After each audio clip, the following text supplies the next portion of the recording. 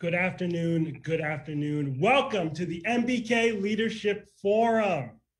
You're watching a public moment of a virtual conference hosted by the Obama Foundation's My Brother's Keeper initiative and in partnership with the National League of Cities and Bloomberg Associates. As a reminder, the Obama Foundation's My Brother's Keeper Alliance is a nonpartisan, non-political 501c3 organization. I'm your host, Senegal Alfred Mabry. I am a Obama Foundation My Brother's Keeper Alliance Advisory Council member. I'm also an alumni of the New York State team that developed the first statewide and state funded My Brother's Keeper system in the nation. And it is my honor today to welcome all of you in your cities tuning around from across the world to the MBK Leadership Forum. This leadership forum was designed to convene cross-sector leaders and MBK communities across the world, helping to be- helping to share best practices for supporting our boys, boys and young men of color, spotlight models that can be followed, and center racial equity as the core drive to transform communities and improve the lives of our boys and young men of color. I'm going to turn it over to my co-host and partner who's out there breaking barriers and building dreams, Alejandro. I appreciate you, my brother. MBK family, I'm your co-host Alejandro Galicia Cervantes, and today's program will feature youth and community leaders on the front lines of social justice and community transformation, discussing the unprecedented activism and action that has taken place in the years since George Floyd's tragic murder, highlighting the effective models that are reimagining policing and public safety and encourage sustained engagement from diverse stakeholders to ensure lasting results. This is a space, a very special space for everyone who's doing their part to break barriers and build dreams. To ground us in that energy, open up your hearts to the spirited words of an individual who has been doing just that. Please welcome Chicago organizer, artist, founder, and executive director of Equity and Transformation, Richard Wallace, to pick up the program.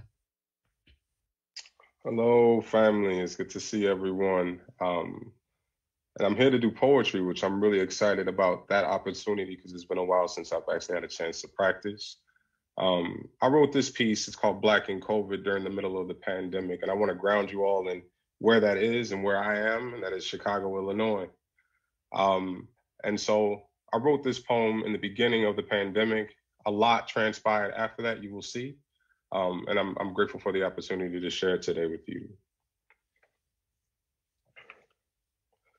Oh, here he go again, being extra. I guess I'm tired of playing Tetris. Shape shifting, spinning on my back so racism doesn't catch us. Poor Arbery. During a pandemic that stole loved ones at arm's reach.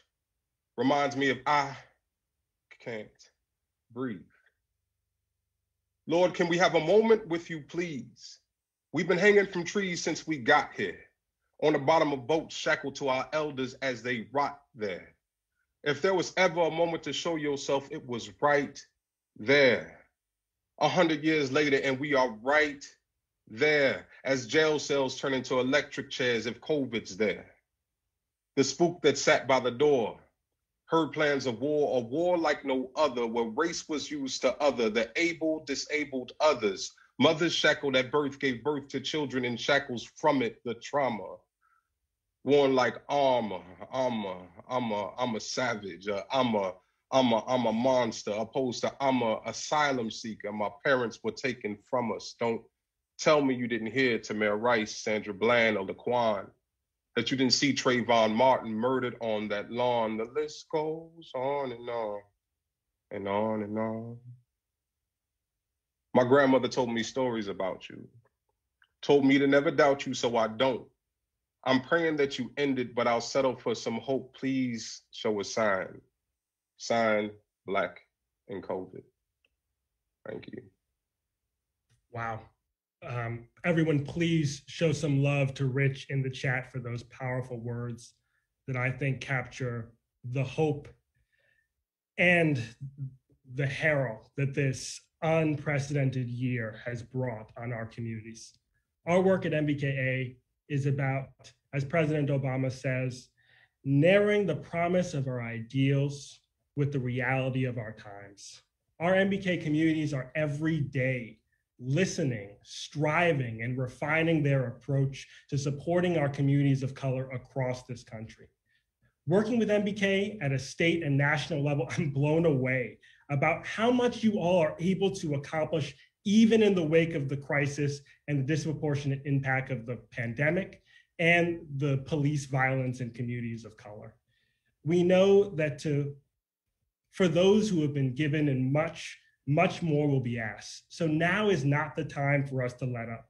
I am confident that this generation of activists and policymakers and change makers will ensure the movement that began in the wake of the violence of 2020 will turn into justice and equity and opportunity for generations to come. With that, it is my sincere pleasure and honor to introduce the 44th President of the United States of America, Barack Obama, for a conversation with activists, organizers, change makers, and elected officials.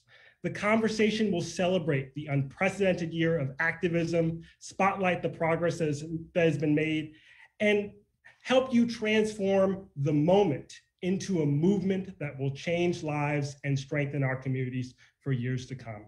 Welcome, Mr. President. Well, thank you so much, and, and thank you all for participating in this virtual forum, uh, this gathering, this convening, uh, to, to deal with uh, an issue that, or a set of issues that uh, this country has been grappling with since its founding. And, uh, you know, I wish that I could see everybody in person. Um, uh, it reminds me that at the top, uh, I want to say that my hope is the next time uh, the MBK communities across the country convene, we can do it in person. That in part depends on uh, us making sure that all our communities, but particularly communities of color that have been disproportionately affected by COVID, uh, that we all get vaccinated. And so I uh, don't want to start with a public health message, but uh, this is something that uh, is uh, deeply important to me. Uh, I've been going around the country uh, letting folks know that this vaccine is safe, it is effective, and our communities in particular uh, have to make sure that uh, that we take advantage of something that, by the way, was developed in concert with, as opposed to just provided to communities of color. You have outstanding doctors and health professionals uh, from the start who are involved in uh, getting the breakthroughs that are allowing us to uh, be safe and uh, be with our families once again uh, and hopefully get rid of this the scourge of this disease. But obviously, the the broader topic we're talking about here doesn't involve just a single vaccine or a couple of shots.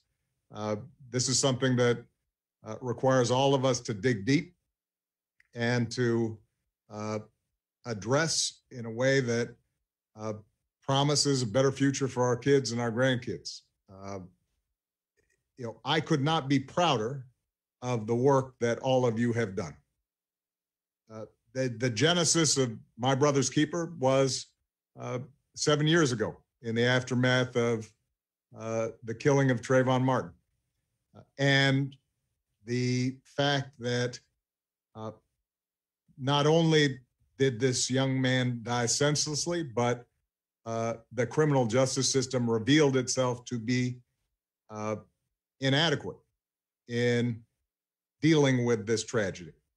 Uh, and I think it was a cause for reflection. Uh, and while we were in the White House at the time, I said uh, that we're going to have to mobilize all the agencies of the federal government, but also work with partners on the ground around the country uh, to start coming up with solutions uh, to address systemic racism and what happens uh, in particular to our young men of color, but as we extended it further, uh, people of color in every walk of life.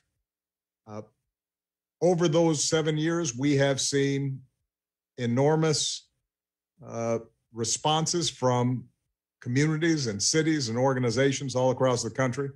Uh, we have seen con- uh, people come together to, to not just talk about the problem, but try to come up with concrete solutions and implement those solutions.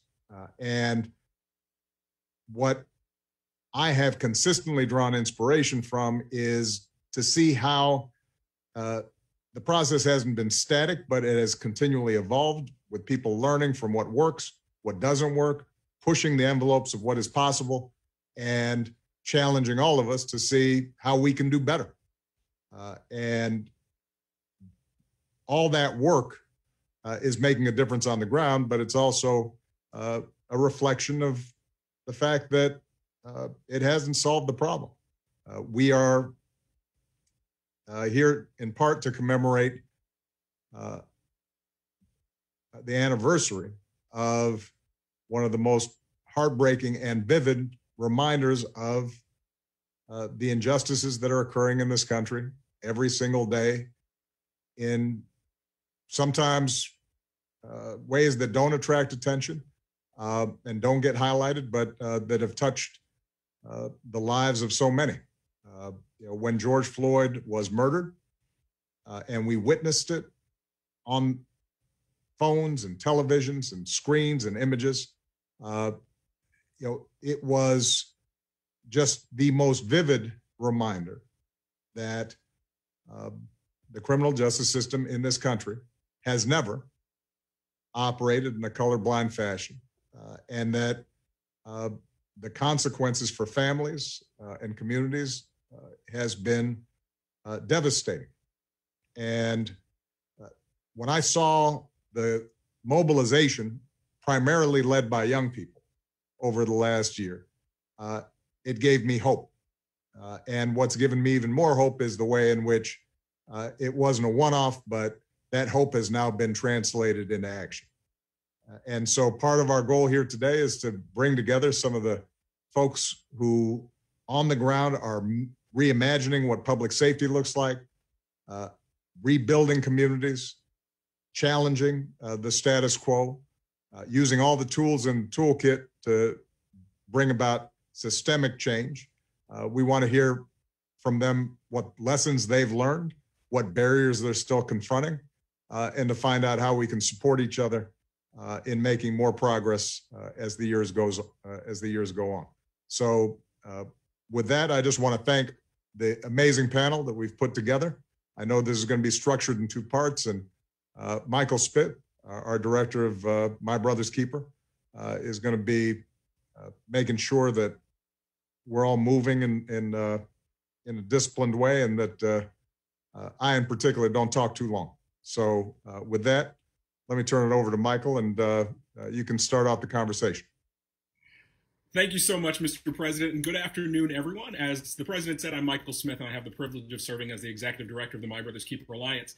President Obama launched the My Brothers Keeper Alliance in 2014 to address the persistent opportunity gaps that boys and young men of color face and to ensure that all young people can reach their full potential.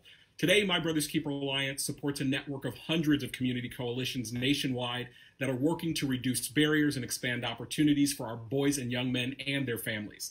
So, thank you for joining us for this critical conversation today at this pivotal moment in our nation's history. For the first portion of our time together, we will explore with President Obama, Alicia Garza, and Mayor Ras Baraka what it means to turn anguish into action what it looks like to ensure this moment sparked by tragedy turns into a movement that change, changes lives. So let's get started with the renowned founder of Black Futures Lab and co creator of Black Lives Matter and the Black Lives Matter Global Network, Alicia Garza. Um, Alicia, we've seen the data that shows the protest movement following the tragic murder of George Floyd a year, a year ago was the largest in modern history. Uh, we also saw a report in the New York Times this week that noted whereas support for Black Lives Matter remains relatively high among racial and ethnic minorities, support among white Americans has proved both fickle and volatile. So, Alicia the, Alicia, the question for you is what was different about this unprecedented moment? And are the unprecedented protests that we saw actually leading to unprecedented reforms? Hmm. Well, first of all, thank you so much, Michael, these are important questions to ask. And I want to start off by maybe reframing the question a little bit because I think it's important for us to understand that, you know, these moments are not disparate moments. They are certainly connected. And over the last decade, in particular, uh, what we have seen is the growing and expansion and entrenchment of a movement that has not just changed this country, but has changed this world. And I remember, Michael, in 2013, when we came out with Black Lives Matter, people would call me on the phone and say, Well, why can't you just say all lives matter or Black Lives Matter too? Right? There was a big push to get us to soften it up. But we really wanted to make sure that we said what we meant and that we meant what we said. And as a result, Michael, I think what we're seeing here is that you know, Black Lives Matter, not just the organization, but the movement and the idea, right, that Black people deserve to live full and dignified lives, just like everybody else in this country and around the world deserves to have. It is not just entrenched now in our culture, but it is becoming a policy debate that is long overdue. I think it's also important for us to acknowledge that in this last summer, the reason that we saw this re-explosion of this movement is because of the organizing work that so many incredible people have been doing across the nation. From elected officials to community-based organizations, what we have seen is that in between protests, people are taking uh, the initiative to change culture, to create the fertile soil from which rich, bold policies come from. And then we have also been working inside uh, legislative houses to make sure that we're not just talking about Black Lives Mattering in, in symbol, but that we are giving substance to what it means to make Black Lives Matter from City Hall to Congress.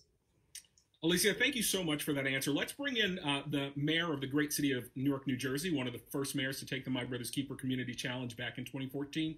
Uh, Mr. Mayor, same question for you. Uh, was this a moment or a movement? And I would love to hear what you would say to Alicia's question, uh, which, you know, how in Newark are you not just saying Black Lives Matter, but how are you showing that Black Lives Matter in a lasting way? So I would have to echo. First, I want to thank you for allowing me to be on the panel. Good to see President Obama and still doing the work, and uh, Alicia for the great work you're doing and have been doing. I, I would have to echo her sentiment that it is a movement, and and uh, a lot of folks are saying that because of the death of George Floyd, all of this happened. And George Floyd's death was tragic. It's not the first, uh, and unfortunately may not be the last, and it's not the only one that we saw on video. Uh, so it have you have to factor in all of the organizing that was going on, the the power of the Black Lives Matter movement, all of the folks and the voices that were involved in that, and as was said, all of the work that's happening in cities uh, like Newark. We were under consent decree uh, when I first took office. Thanks to the Justice Department and uh, President Obama's Justice Department. And, um, you know, it was a good thing for our city. And we began to push, push, push to begin putting reforms in place in our police department immediately. Uh, and I think those reforms began to pay off. Uh, we, we started hiring social workers with police money before people start saying defund the police. We, we started doing those things. But I think what's important is that the moment in this kind of accelerated the kind of work that we were doing and work that other folks like us are doing all over the country. So it gave us the cover fire, if you will, to begin to create uh, uh, bigger and broader opportunities and do things we were trying to do for years. It gave us the, the room to get this stuff done. All of the, the protesting, the talk, the discussion made us do this right now, front and center, and gave us the support to make it happen. Thank you, Mr. Mayor. If I could just ask a quick follow up question. We saw some impressive headlines coming out of Newark uh, that showed there were zero shots fired uh, by officers in the city of Newark last year. Can you tell us a little bit more about that headline and how you actually got there? By God's grace, brother. so, but uh, you know, I think there's a lot of work uh, that's been happening on the ground. I think uh, one, we've changed the complexion of the department. It, it resembles the people who live in the city. Uh, that happened over four or five years. Uh, a lot of the uh, folks from in the department now uh, have families and residents uh, in the city or live here themselves. I think all of the policy and changes that we've been making uh, because of the consent decree in conjunction with the community is also, has also helped as well. De-escalation, use of force, all of these things have been incredibly helpful. Uh, and just working with the community uh, with Equal Justice USA and having trauma circles, police and community together, uh, as well as uh, alternative uh, opportunities to stop violence and crime or reduce violence and crime making sure the police are a part of a larger public safety strategy as opposed to the only public safety strategy. I think all of those things worked out Uh, so I, I, just think it was a perfect storm. Uh, and we experienced this stuff without even, you know, uh, paying real attention to it. Uh, and it doesn't mean we don't have any uh, mistakes or, or, problems. In fact, the following year, the first, as soon as we opened up the year, we had a police shooting, and prayerfully it'll be the only one. But uh, we we are continuing to get better because we're working together collaboratively to make sure we reimagine what public safety looks like. Thank you, Mr. Mayor. Um, let's bring President Obama back into this conversation. You talked about it being a per- perfect storm, but you also talk about this work happening over years. Alicia, when we were talking in advance, you, I think you wanted to ask the president a question about the evolution of the movement. Let me let me turn it over to you and not parse your words. Indeed. Thank you, Michael, and greetings, Mr. President. I wanted to ask you, you know, clearly this iteration of this movement that is generations long, but this iteration certainly did emerge under your presidency, and you certainly had both the uh, the privilege and the challenge, right, of being an authority figure uh, during this during this moment, and really being a, a decisive uh, decision maker around how some of these uh, policies move forward. I wanted to ask you, Mr. President, given that, how has your thinking changed uh, as you've seen the evolution of this movement over the last decade, or has it? Uh, can you tell us a little bit about um, how you're seeing this movement evolve and uh, where you think we still have left to go? Oh, it, it's a great question, Alicia. And, you know, uh, part of the lens I look at it from is this happened when I was president, but I started as a community organizer, right? And I'd kind of gone through the phases. I'd been a state led uh, community organizer, uh, a state legislator, a federal legislator, and then president.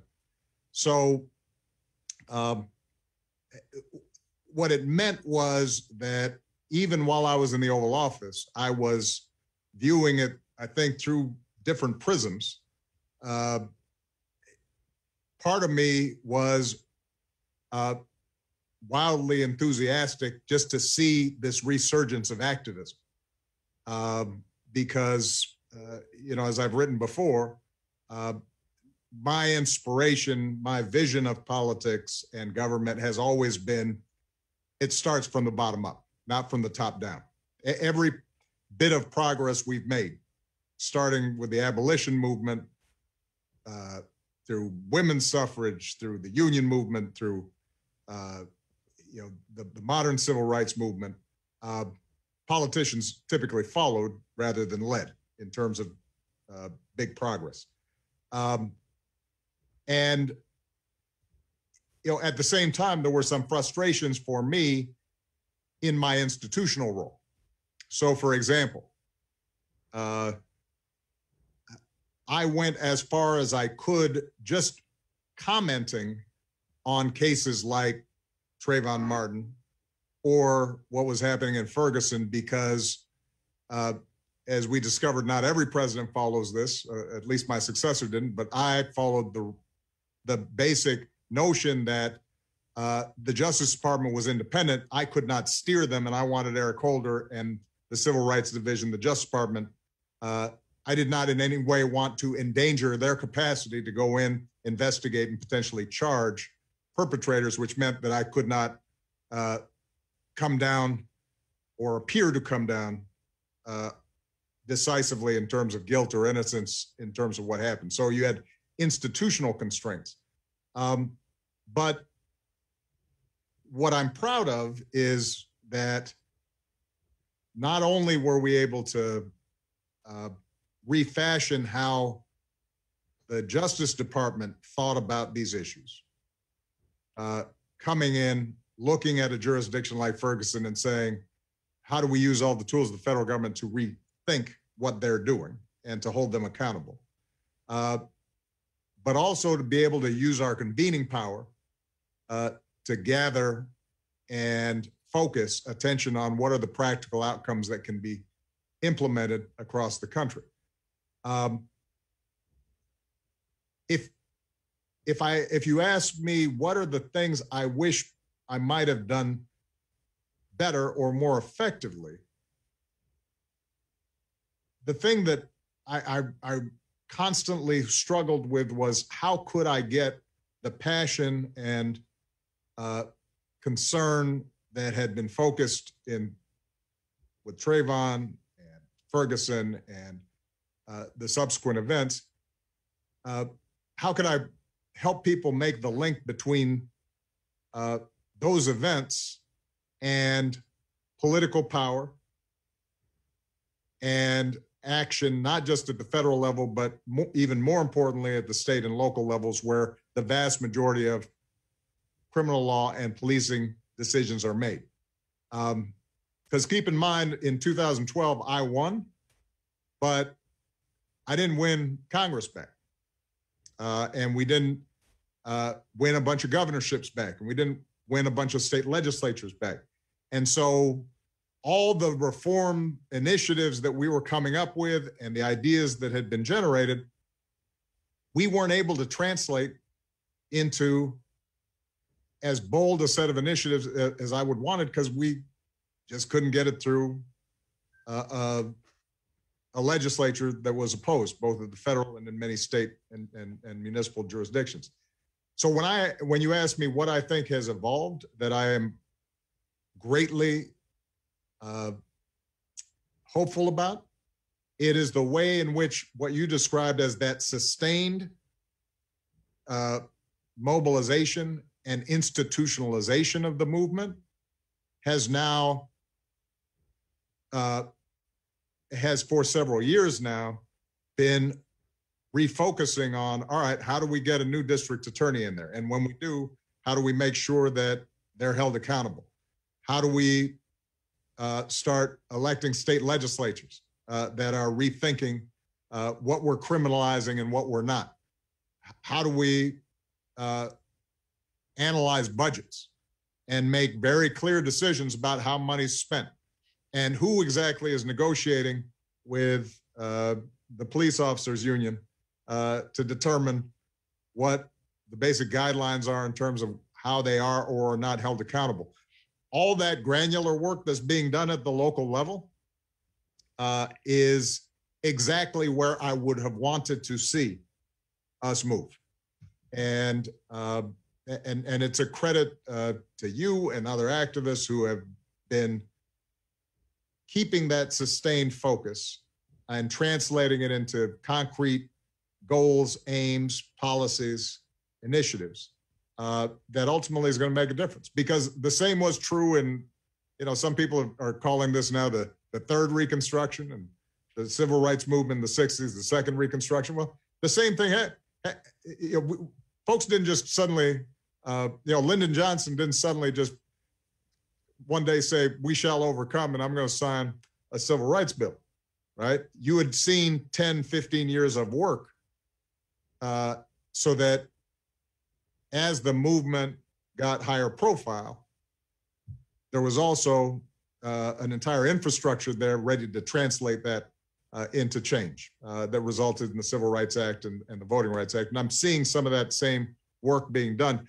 The bigger, the biggest challenge, I think, with uh, this area is that you're dealing with a much more decentralized uh, uh, uh, you know, of, of, uh, you know, counties and, and local districts and municipalities, and trying to work at a national level, and as you alluded to, a global level, because some of these issues are global, uh, while at the same time recognizing, all right, real change is going to happen if we change that structure in that city or in that county or in that uh, police board. Um, you know that that I think is uh, is our biggest challenge. Thank you, Mr. President. Let's let's turn the tables a little bit. You're used to folks asking you questions all the time. I think you have some questions for Alicia and Mayor Baraka. I'm really interested in this generational um, combination that we have here. So, Mr. President, uh, questions for them? I think Michael's implication is that I'm old. Uh, Never. but- uh, you know, the- I, I think I'll ask the same question of both of you, uh, and and and and that is, uh, how can uh, we be most supportive based on your experience of what young organizers are doing um, and maintain an effective dialogue. Uh, you know, one, one of the the um, most powerful moments uh, in the aftermath of the George uh, Floyd murder last summer was uh, me having the opportunity to have John Lewis uh, shortly before his death uh, with a panel of young activists from across the country and, and just seeing that interaction. But I think so often there are lessons learned but oftentimes we don't have a chance for our elders to transmit ideas to and suggestions to young people, but also conversely, young people explaining, all right, you know what, uh, we appreciate what you've done, but uh, you know, we we got to, we're not satisfied. We we're, we're pushing further. Um, so so what are some of the ways in which uh, myself, uh, Mayor Baraka, uh, others can be most supportive of activists on the ground? Uh, that's question number one. And, and, and question number two, uh, and, and this may be, may be more directed towards the mayor. Um, we're trying to reimagine public safety. At the same time, we also recognize that in many ways, the reason that police community relations are so fraught is because the communities themselves are subject to all kinds of systemic discrimination, lack of jobs, lack, lack of opportunity, and so forth. Um, and as a consequence, there is violence that is real in many of our communities. How are you balancing when you have a dialogue with constituents? Listen, we need to reimagine police, and they may be worried. Okay, yes, but I, it, right now I've got concerns about violence not just from the police, but also uh, in our communities uh, that we recognize as part of a, a, tragic legacy. But I also have to worry about that if I'm a, you know, uh, my kids walking home from school. How are we talking about that in a way that's effective and brings uh, folks together? Thank you, Mr. President. Alicia, why don't you start and uh, we'll we'll do short answers if you don't mind. Start with the president's questions about uh, the role that that uh, he and others can play to support activists, and then we'll come to you, Mayor Baraka, to close. Yeah. Sure. I'll, I'll try to keep it quick. I mean, I think our strength here, uh, Mr. President, is that we have been building across generations. And so we're committed not to keep making the same old mistakes, but to be courageous enough together to innovate and experiment with the solutions that we need to move forward. And I'm so proud of the work uh, that Mayor Baraka is doing. I also want to lift up the work happening in Ithaca, New York, uh, around reimagining public safety and actually having more civilian control over that. Uh, that's a partnership with the Center for Policing Equity that is doing incredible work to reimagine what it looks like in our communities to be safe by investing in our communities. And the Breathe Act as well, which I think does that very nicely. I think the highlights of, of what we need to do to keep supporting each other is to remind each other to be courageous. You know, President Obama, I heard earlier, I said earlier that, you know, when we started Black Lives Matter, people told us to tone it down, and I'm so glad we did not. And now we're having a conversation about how we fund policing and what policing actually does. And the fact of the matter is, policing doesn't stop crime. Policing responds to crime. But before that response, there are all kinds of things happening in our communities that are incorrigible. And then we're asking people to essentially uh, uh, uh, deal better with not having the things that they need to live well. And we're asking each other, well, why are people hurting each other? And it's because we don't have the infrastructure we need. And that has been an intentional uh, program and project for at least the last 30 years. But I think people in my mom's generation and even in my grandma's generation could tell you that's actually been a generations long project. I'll also say that one of the things that we can do together to keep supporting each other uh, is to remind ourselves, right, that um, we need culture and we need policy.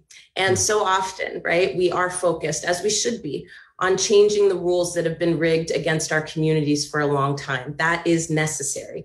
But in order for us to get there, we also have to invest in the ways in which we understand right and wrong, good and bad, who belongs and who does not. And I think this movement has done an incredible job of doing both, creating that fertile cultural soil for new and bigger and more innovative conversations to happen. So thank you for the question, and I'll turn it over to Mayor Baraka. Thank you. Uh, we are actually dealing with this issue right now, Mr. President. Uh, we created an Office of Violence Prevention and Trauma Recovery, trying to treat violence as a public health issue. We're closing, we're actually closing down one of the precincts and turning it into an office of violence prevention and trauma recovery there uh, to kind of expand what public safety looks like. So the people in that community obviously are a little up in arms because they're concerned about us closing the precinct because they want to make sure they still have police in their community. When I go to community meetings, if the people people ask me, uh, where are the police? Because when they don't see police, they think that there is no safety. Our community equates safety with police. In suburban communities, if a police officer is on your block, people say, well, what are the police doing here? Is something wrong? Because they understand that public safety is more than just cops. Cops come when something goes wrong.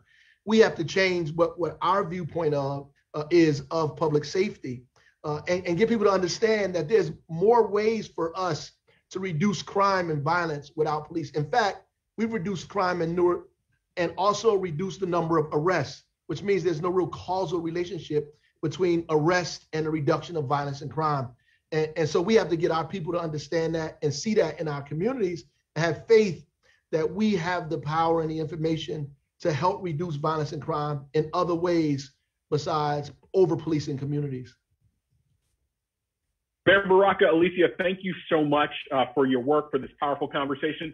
Let's go ahead and move into the next part of the conversation with President Obama, uh, where he will be joined by leaders and young people from our MBK communities uh, to discuss how they are leading the way to reimagine public safety. Uh, these leaders represent organizations MBK Alliance invests in that are expanding evidence-based initiatives to reduce youth violence, grow effective mentorship programs, and measurably improve life outcomes for boys and young men of color and their families. So let's kick this conversation off with our young men, the motivation behind everything we do at MBK Alliance. Um, from the great state of California and LA County, MBK LA County, we have Jacob Black Jackson um, from Los Angeles Youth Uprising, otherwise known as Layup. Uh, and then from the hometown of the Obama Foundation, uh, we have uh, Chicago. We have Anthony Montoya, uh, who's the youth representative with New Life Centers of Chicagoland, a part of MBK Chicago.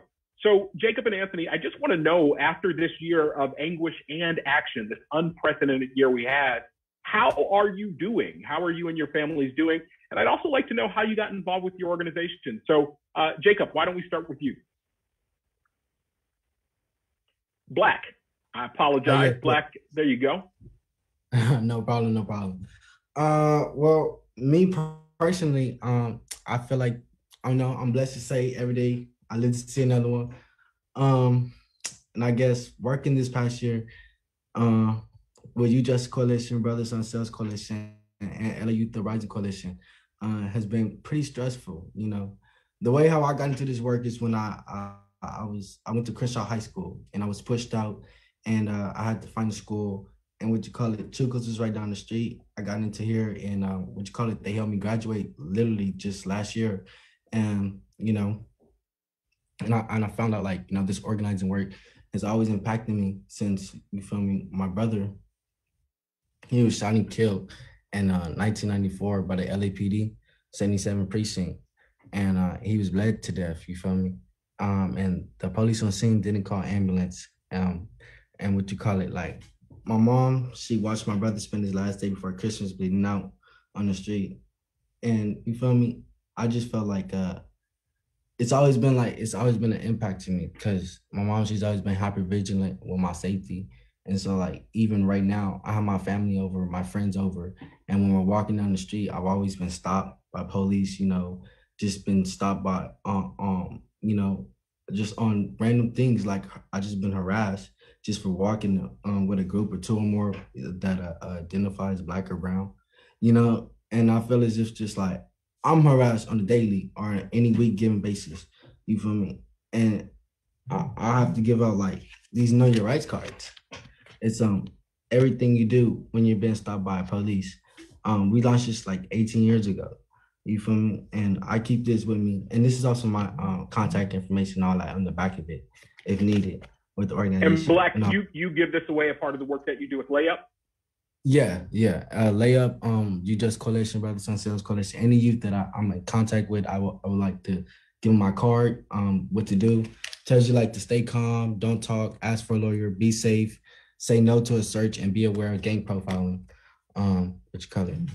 So yeah, I mean, it's very important to have this, you know, because literally just last night they pulled up on us, and I just told my cousin and my and my and my brother do not speak. I asked for a lawyer, and you know they were just harassing us just last night, you know, about oh where's the gun at? Where's this with the boo? And we're just coming out to wash a truck, you know. That's all we came out to do.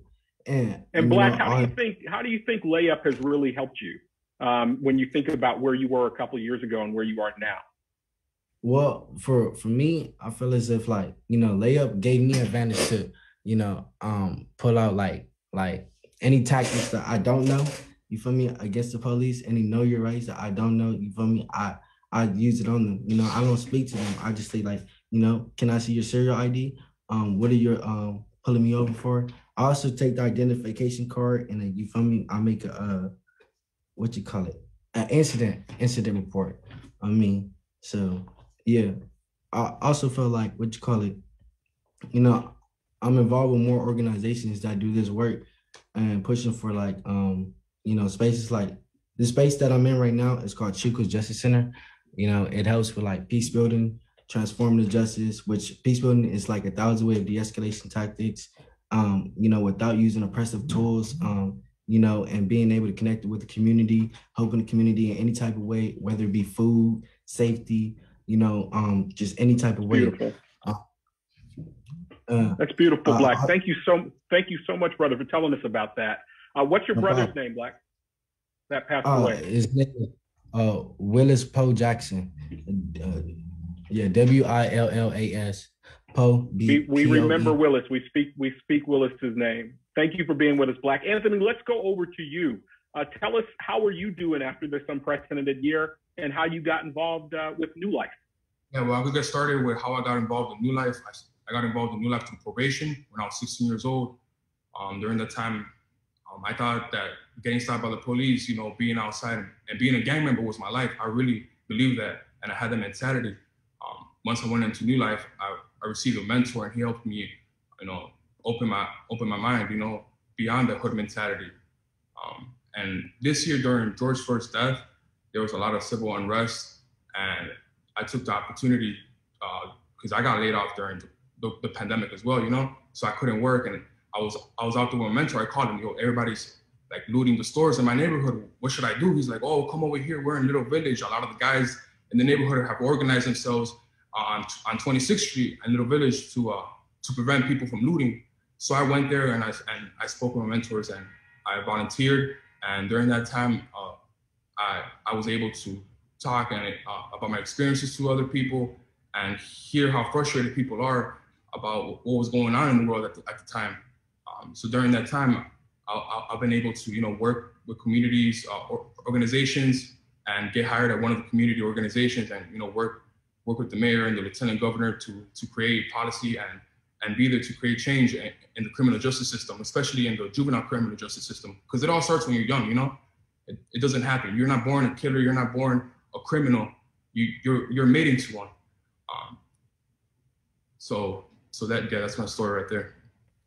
Thank you so much, Anthony. Thanks for being here. Let's go to the older young brothers that are in the room. Uh, Benny Estrada from New Life in Chicagoland and Julio Marcial uh, from Liberty Hill Foundation, which helps coordinate the work of MBK LA County. Um, Benny, let's start with you. You all are on the front lines of changing the face of public safety. You've been doing it for years. Could you tell us a little bit more about the approach of New Life and the impact that you've had? Yeah, so at the core of what we do, we're a mentoring program, um, but we do we also do sports education. Uh, I'm over the street outreach team. Uh, I've been working in the neighborhood for more than 20 years now in that capacity, and then we're also we also uh, ramped up our food distribution uh, in the community. Um, and you know, basically, it's just like trying to figure out like what are the needs in the neighborhood, and then how we can you know stand in the gaps and and provide what it is that the neighborhood's lacking. Um, with the street outreach work, it really is about having relationships in the neighborhood. Uh, the I would say the 95 to 95 percent of our team is from the neighborhood, knows the community, have been born and raised, um, and I think it you know it's it it gives us the advantage when it goes when it when it comes to dealing with you know violence in the neighborhood, knowing knowing who's involved and knowing you know how we can intervene in certain situations. Thank you so much, Benny. Um, and let's go to Julio. What the reason we brought both of y'all here together today is because the work that New Life does is on the ground. They show up, you know, at some of the worst times in the lives of a family. When someone has been shot, uh, New Life shows up to, to help interrupt that violence. Um, they are working with food services, providing the needs that the families have today. Julio, the work that you're doing is looking more at systems. You're looking at policy change uh, to make sure that we have fewer of those incidents going forward. So tell us a little bit more about the MBK LA County Coalition and the work that you're, you're doing and the impact you've had. Yeah, thank you, Michael. So, you know, we believe unapologetically about supporting frontline youth organizing uh, to build power. And so this is about collective power. You know, when we started on this path, we knew LA County was number one for all the wrong reasons. We arrest, prosecute, incarcerate more Black, Brown, Native American youth than any jurisdiction in this country. And we wanted to change that. And the way we wanted to change that was to support power building organizations that were working with young people who were di- directly impacted. You heard from Black. Black is one of a hundred other young people who have been centered in this process and really to be able to lift up their own personal stories. We talk about often uh, policy development, implementation, um, and transformation. We're not interested in reforming anything that's broken here in LA County. And what we've seen is that when you really understand the impact of youth organizing that has had on this movement at large, it means engaging and centering young people in everything that we do, right? It really means encouraging them and supporting them as full partners and leaders in this work. And we put their voices and demands at the center of every campaign that we've done. And this has led to historic work with, again, where youth organizers have moved key stakeholders to move from allies to freedom fighters. The young people understand that change starts two steps past where you're comfortable. Uh, Black mentioned, and I'll give you one success story, is that you know, five years ago, we developed a, a, new division of youth diversion and development. Why? We were in, we were arresting 10,000 young people every year in Los Angeles County. 80% of those young people were eligible to be diverted to a community-based organization that could offer them support, healing, education, a job. Instead, what LA County was doing was harming um, these young people. And so these young people, these organizations that we support, it is truly about building collective power to, tr- to transform the institutional structures that have harmed communities of color in LA County for far too long. Julio, extraordinary work. I, you know, I, I, when we get those updates all the time to see the coalitions that you're building, and I know that doesn't come easy, uh, but it, it's really paying off uh, in, in big ways. I know President Obama is anxious to get into this conversation, so I'm going to let Black ask President Obama a question. Black, when we were talking before, you had a question about community organizing that I think really fits uh, with this moment. So, Black, let me turn it over to you to ask uh, the president a question. All right. So, all right, my question is going to be, um, as a fellow community organizer, what do you say to the current group of youth organizers like me who are fighting for justice and peace, yet getting pulled over by police on a weekly basis? Um, how did you manage those conflicts when you were an organizer? Well, look, uh, first of all, if, if you're getting pulled over on a weekly basis, then I'm glad that you're passing out those cards, and you know that that uh, you know one thing that I think would be useful would be to just start uh, recording and, and gathering information about this so that uh, that can translate into holding folks accountable. Um, because you know wherever you live, uh, there are you know council members and you know officials who are supposed to be accountable to you and other fellow citizens if you're minding your own business, not to be harassed. Uh, so, so that'd be my first bit of advice. Um, you know, Black, I think more broadly, uh, you're on the right track, uh, and uh, the degree to which you can find like-minded people to work with, so you don't feel alone in this work, uh, I think is really important. Um, you know, my experience when I was a little bit older than you and, and I was working in communities is sometimes you feel as if you're not making a difference because uh, the, the problems seem overwhelming. And you feel as if man, I'm out here and I'm just trying to, uh, you know, do my part. Uh, and sometimes what I'm doing doesn't seem to be making a difference.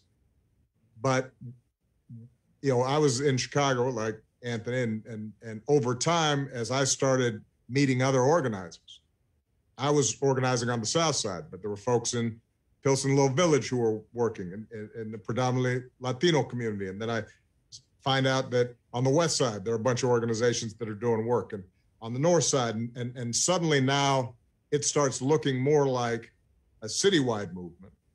People start sharing experiences. People start imagining all right how can we put together campaigns that bring our collective voices and power to bear? Uh, that ends up being very powerful. So um, you know take the time even as you're doing the work to make sure that you are reaching out and learning from and in communications with and connecting with others who are doing the work. Uh, because we can't, none of us can do this alone. Uh, you know, the, uh, you know, I was uh, when we were talking uh, earlier with uh, Alicia Garza. One, one of the, and she asked me sort of how have I been reflecting on the Black Lives Matter movement and the, and the movement to, to reimagine public safety. One thing that I wanted to say, but Michael, you know, I could tell I was running out of time and I was taking too long, so I, I sped up. But one great lesson I think that we've seen over the last 10 years is this movement has not been dependent on a single charismatic leader, but has been a collective leadership. Right? Like you don't have one person who's just make, out there making speeches all the time, or you know is considered the the head spokesperson for everything. And that's powerful when you've got a collective leadership of people who are in communities in the on the ground doing things, working together, collaborating. Sometimes this person's taking the lead, sometimes this other person's taking the lead, sometimes this organization has come up with the right answer. They're sharing those what worked you know, to other folks around the country. Uh, you know, it's a lot harder to dismantle uh, momentum for movement when you, you know, you've got a whole bunch of people all at once who are in communications and coordinating and working together. Uh, it's not dependent on one person, uh, and and that I think is uh, is really important, and it's a good lesson uh, for you and, and other young organizers who are out there.